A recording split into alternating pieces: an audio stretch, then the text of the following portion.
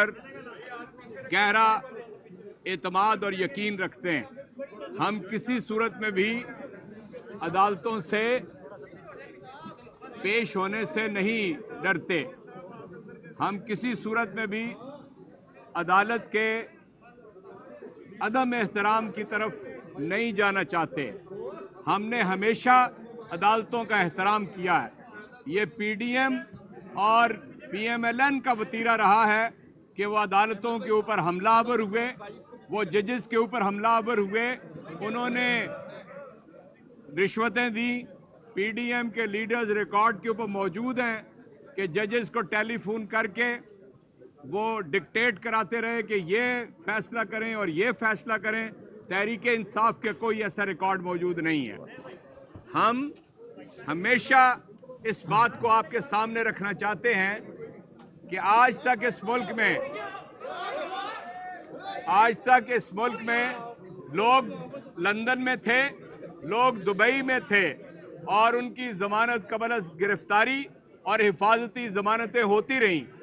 हमने कोई ऐसा काम नहीं किया। इसलिए वकला ने आपके सामने सूरत हाल बयान की है।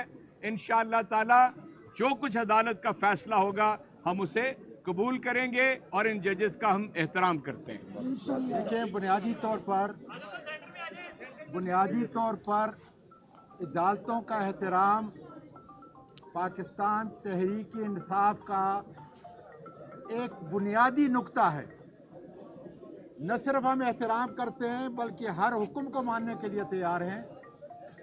मुश्किल ये थी कि इमरान खान को हमने बहिफाजत यहाँ पे लेके आना था आपको इससे पहले इलम है कि उन पर कातिलाना हमला किया गया। किसने किया, ये भी मालूम है आपको।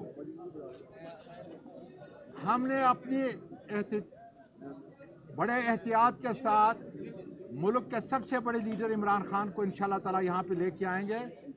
एक केस नॉन प्रोसिक्यूशन में जा चुका है। हम दोबारा एप्लीकेशन फ़ाइल कर रहे हैं। और दूसरी कोर्ट के अंदर जो सिंगल बेंच है, इंशाल्लाह वहाँ पर मंडे को जिस तरह हमें टाइम दिया है इमरान खान खुदा के फजल से अपने वर्कर के साथ पाकिस्तान के मुस्तबिल के लिए अदालतों की आज़ादी के लिए और कानून की हुक्मरानी के लिए खुदा के फजल से पेश होगा। थैंक यू चलिए बस।